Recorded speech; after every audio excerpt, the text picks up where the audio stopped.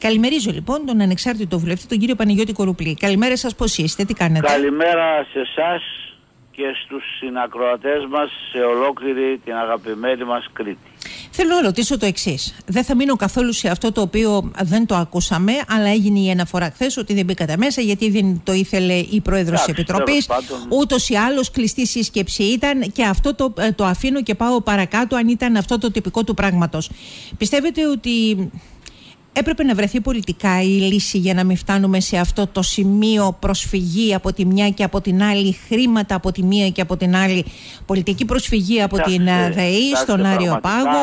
Με προβληματίζει το γεγονός ότι μετά από όσα έχουν επισυμβεί και τις τοποθετήσεις ακόμα και του Πρωθυπουργού ο οποίος ομολόγησε ότι σε πολύ μεγάλη έκταση η εφαρμογή της ρήτρας δημιουργεί μεγάλα ζητήματα αδικιών. Ε, έπρεπε η πολιτική ηγεσία να δώσει λύση η ίδια και να μην αναγκάσει τον πολίτη να μπει σε μια τέτοια διαδικασία ή και τις οργανώσεις ε, των καταναλωτών. Εδώ υπάρχει μια δεινή πραγματικότητα έχουμε μία εφαρμογή ε, μιας διαδικασίας, η, η ρήτρα, η λεγόμενη ρήτρα αναπροσαρμογής, η οποία ανεβάζει σε πολλαπλάσιο επίπεδο την ε, τιμή του ρεύματος. Και δεν είναι, και δεν είναι βεβαιότητα η τιμή της πραγματικής κατανάλωσης. Αυτό είναι το μέγα ζήτημα. Δεν έχει καμία σχέση η τιμή που επιβάλλεται τελικώς με την πραγματική κατανάλωση.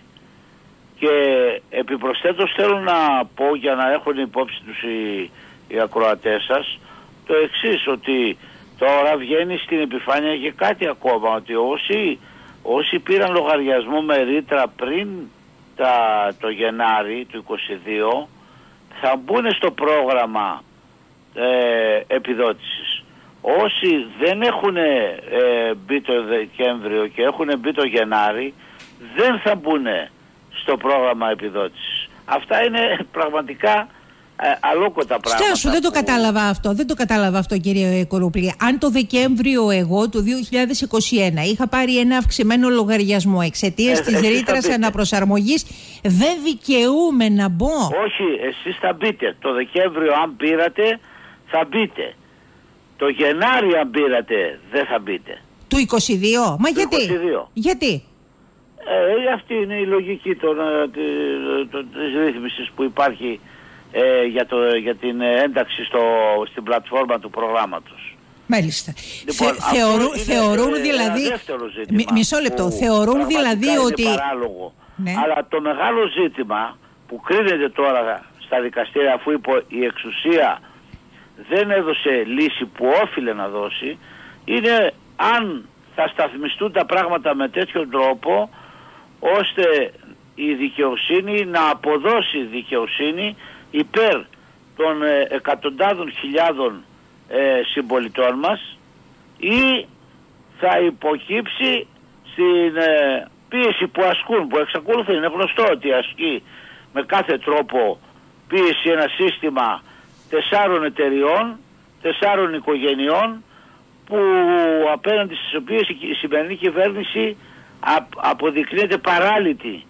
Γι' αυτό και δεν προέβη σε ε, κινήσεις οι οποίες πραγματικά ε, θα απαντήσουν στο ε, ζέον πρόβλημα. Παρά μόνο δίνει επιδοτήσεις οι οποίες τελικώς επιβάλλονται ε, και προστίθεται στο, στο, στο χρέος της μα, Μα κύριε Κουρουπλή όταν εσείς που είσαστε και νομικός ε, το λέτε αυτό και είσαστε και στο κοινοβούλιο ότι ξέρετε αν από τη δικαιοσύνη σταθμιστούν σωστά τα δεδομένα ε, και δεν υπάρξουν οι πιέσεις και οι άνθρωποι δεν εναγκαστούν εννοείται τους δικαστές να, να το δουν λίγο διαφορετικά εγώ έρμος ο πολίτης τι να περιμένω και όταν ακούγεται από εσάς; θέλω να πω ότι αυτή τη στιγμή αφού δεν δόθηκε λύση πολιτική εκ των πραγμάτων αποδεικνύεται ότι υπήρξε πολύ μεγάλη πίεση από την άλλη πλευρά.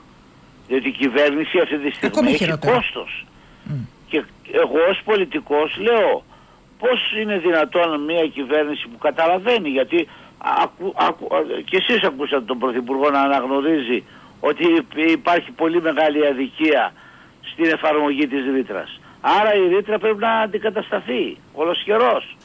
Διότι εδώ αποδεικνύεται ότι έχουμε διπλάσιο, τριπλάσιο και τετραπλάσιο από την πραγματική κατανάλωση. Κόστος.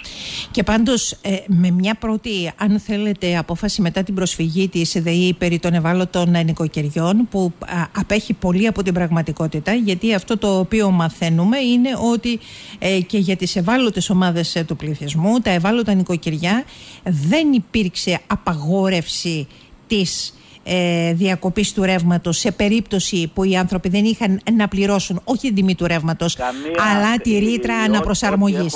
Σήμερα δεν είναι καθόλου ε, ουσιαστικό για τους ανθρώπους που πραγματικά ζουν άγχος.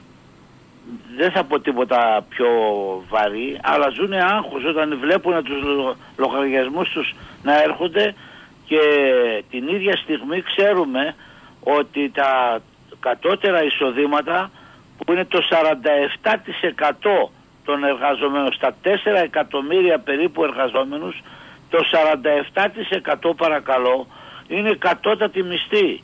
Και η Ελστάτ, δεν το λέω εγώ, η Ελστάτ ομολογεί στην τελευταία της έρευνα ότι αυτά τα νοικοκυριά έχασαν περίπου το 18 έως και 20% της αγοραστικής τους, mm τους ε, δύναμης. Αντιλαμβάνεται κανείς λοιπόν ότι αυτά τα νοικοκυριά θα κληθούν να πληρώσουν πελώριους λογαριασμούς που δεν οφείλουν να πληρώσουν. Μα, να σας εδώ, πω κάτι. εγώ αναμένω από τη δικαιοσύνη να σταθμίσει τα πράγματα και να καταλάβει τι ακριβώς συμβαίνει διότι ο υπερασπιστής του, του δικαίου και της κοινωνίας γιατί το δίκαιο είναι κραυγάζει υπέρ των πολλών είναι ακριβώς αυτή η υπόθεση που αφορά τις χιλιάδες των καταναλωτών.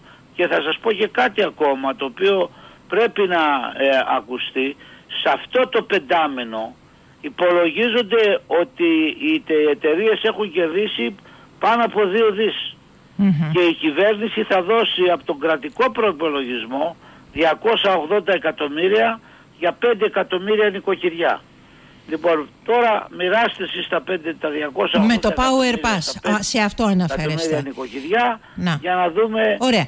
τι Εγώ... λαμβάνει ο καθένας. Εγώ κρατώ τις παρατηρήσεις σας, είναι σε διπλό ταμπλό θα έλεγα, η μία προς τη δικαιοσύνη λέγοντας ουσιαστικά Περιμένω από τη δικαιοσύνη να πάρει την απόφασή της σταθμίζοντας όλα τα δεδομένα τα οποία υπάρχουν αυτή την ώρα και ξέροντας ποια είναι η κατάσταση που επικρατεί μέσα σε κάθε ελληνικό νοικοκυριό. Και από την άλλη εκείνο το οποίο λέτε ότι έπρεπε να υπάρξει πολιτική απόφαση και να σταθεί στο ύψος των περιστάσεων όχι με αυτά τα απλά τα επιδοματικού α, τύπου μέτρα όπως Power Pass, Fuel Pass και το υπόλοιπα αλλά οριζόντια μέτρα για την ανακούφιση του κόσμου. Για την περίπτωση των καυσίμων όταν την ίδια στιγμή δεν μας ρωτάμε στη Βουλή αν εφαρμόζονται στα διηληστήρια συστήματα εισρωής, εκροής και ρωτάμε και επίσης πώς είναι δυνατόν να έχουμε σχεδόν καθημερινές αυξήσεις στα καύσιμα όταν τα δηληστήρια όλοι ξέρουμε και τουλάχιστον εμείς που είμαστε στο δημόσιο χώρο ότι τα συμβόλαια που συνάπτουν ή τα δηληστήρια για την αγορά ε, πρώτης ύλης είναι τρίμηνα και τετράμηνα. Πώς γίνεται να συμβαίνει; Το ίδιο και με, τη, με, τα, με τη διατροφική αλυσίδα. Μας λένε άνθρωποι πώς είναι δυνατό στη Γερμανία να είναι πολύ στο 50% φτηνότερα τα προϊόντα από ό,τι στην Ελλάδα; Γιατί ακριβώς δεν αποδεικνύεται ότι υπάρχει ένας αξιόπιστος ελεκτικός μηχανισμός. Όλα αυτά λοιπόν καταλήγουν να τα πληρώνει ε, η συντριπτική πλειοψηφία του ελληνικού λαού. Και θα μου επιτρέψετε να, να κλείσω λέγοντας ότι σε μια περίοδο που η πατρίδα δέχεται αυτή την απειλή από την Ανατολή, η απειλή εξ Ανατολών, που είναι καθημερινή πλέον, ε, ειλικρινά δεν μπορώ να καταλάβω μια κυβέρνηση πώς δεν εξαντλεί κάθε περιθώριο να στηρίξει αυτό που εγώ ονομάζω κοινωνική άμυνα.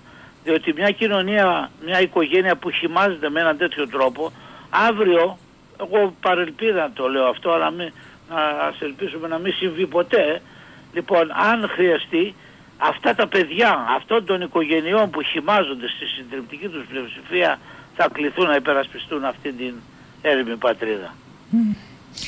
Κύριε Κουρουπλή, υπάρχουν πληροφορίες και μου στέλνουν μηνύματα ότι υπάρχουν. Προσέξτε να δείτε. Είναι, είναι, είναι πληροφορία έτσι. Αν δεν επιβεβαιωθεί, δεν μπορείς να το υιοθετήσεις. Ότι υπάρχουν καταστήματα σε αμυγός τουριστικές περιοχές όπως της Χερσονήσου αυτή την ώρα που με κατεβασμένο το γενικό πήγε λογαριασμός ρεύματος εξαιτίας της ε, ρήτρας αναπροσαρμογής πάνω από τα 1500 ευρώ με καταβασμένο το γενικό. Ε, Μπορεί να δικαιολογηθεί κάτι τέτοιο; Εγώ σας λέω ότι το πιστεύω. Το πιστεύω. Είναι ανεξέλεκτη η κατάσταση. Εγώ το πιστεύω. Και γι' αυτό πρέπει να γίνει κατανοητό και γι' αυτό η κυβέρνηση οφείλει να αναλάβει τις ευθύνες, έχει ευθύνες πελώριες απέναντι σε ολόκληρη την κοινωνία, στα, στους μικρομεσαίους. Δηλαδή όλος αυτός ο κόσμος, μου έλεγε προχθές άνθρωπος ότι με, με, κατάστημα στην Καλυθέα 45 ε, τετραγωνικά του ήρθε 5.000 ρεύμα. Αυτός πότε θα τα βγάλει αυτούς τους άνθρωπους να πληρώσει; Πότε θα τα βγάλει δηλαδή τα, τα, τα χρήματα αυτά για να πληρώσει αυτές τις υποχρεώσεις; Για τι πράγμα μιλάμε δηλαδή; Μιλάμε για κάτι, μια κα, καταιγίδα μια άγρια καταιγίδα εις βάρος όλων αυτών των ανθρώπων. Και μιλάμε, δεν μιλάμε για μια μικρή κατηγορία Μιλάμε για τη συντριπτική πλειοψηφία του ελληνικού λαού. Κύριε Κοροπλή, υπό αυτές τις συνθήκες και έτσι όπως εξελίσσονται τα πράγματα με τις πιέσεις που δέχεται η κυβέρνηση από την άλλη την πλευρά, εσείς εκτιμάτε ότι θα το γυρίσει ο κύριος Μητσοτάκης και θα πει πάμε σε πρόορη προσφυγή στις κάλπες. Κοιτάξτε, δεν νομίζω ότι έχει άλλα περιθώρια ο κύριος Μητσοτάκης μετά από αυτά που όσα συμβαίνουν και με, αυτά, και με βάση αυτά που είπε ε, ουσιαστικά οι υπουργοί έχουν κατεβάσει μολύβια ο καθένας κοιτάει να τρέξει στην εκλογική του περιφέρεια νομίζω ότι λειτουργεί αυτή τη στιγμή το κράτος ε, γι' αυτό και εκ των πραγμάτων θα πάμε σε εκλογές εγώ είμαι βέβαιος ότι και μπορώ να σας πω και πιο συγκεκριμένα την πρώτη Κυριακή του Οκτωβρίου θα, πάμε σε εκλογές, θα είμαστε σε εκλογές. Μάλιστα. Λοιπόν, κύριε Κουρουπλή, σας ευχαριστώ για τις κουβέντες. Καλημέρα σας από την Κρήτη. Για τη φιλοξενία και πάλι την καλημέρα μου στην πανέμορφη Κρήτη. Καλημέρα και από εμάς. Γεια